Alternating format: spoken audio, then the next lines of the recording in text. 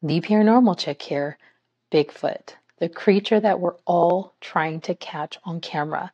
Well, take a look at this footage. This is an older recording and footage of what people are saying is a Bigfoot. It was captured around 2008 in California.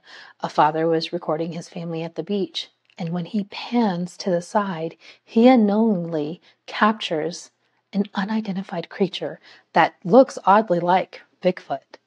Take a look and tell me what you think.